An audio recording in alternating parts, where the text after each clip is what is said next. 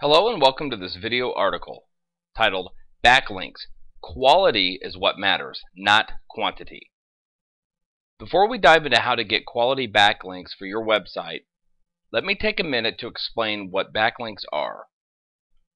First of all, links is the term used to describe how all the web pages on the internet are connected to each other. Backlinks are those links from other web pages into your website.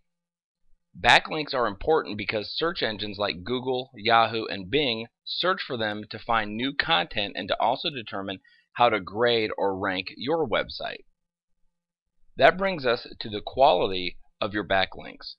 Search engines look not only to the quantity of backlinks to your website from other websites, which they use to determine if you seem to be an authority on a topic, but they also look at the quality of those backlinks to judge the worthiness of your website.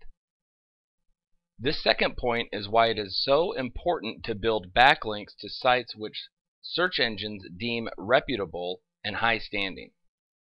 As I have often mentioned before, the basic principles that work in everyday life also work online. Poor quality backlinks shows the search engines that your website hangs out with the wrong crowd.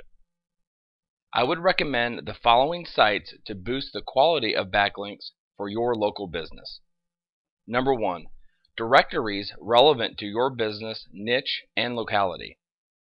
Number two, social media networks like Facebook, Twitter, Digg, Technorati, YouTube.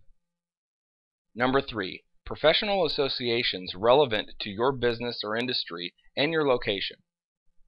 Number four, government directories, especially if you work as a supplier or contractor for federal contracts. These end with .gov.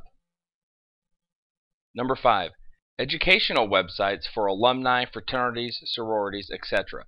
And these end with .edu.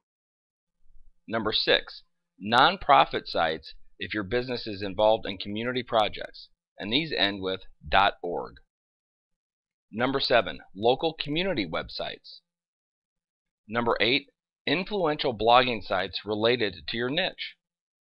Number nine, business websites that complement yours. For example, if you are a golf coach, you would link to businesses that sell golf clothing and equipment or to golf course sites.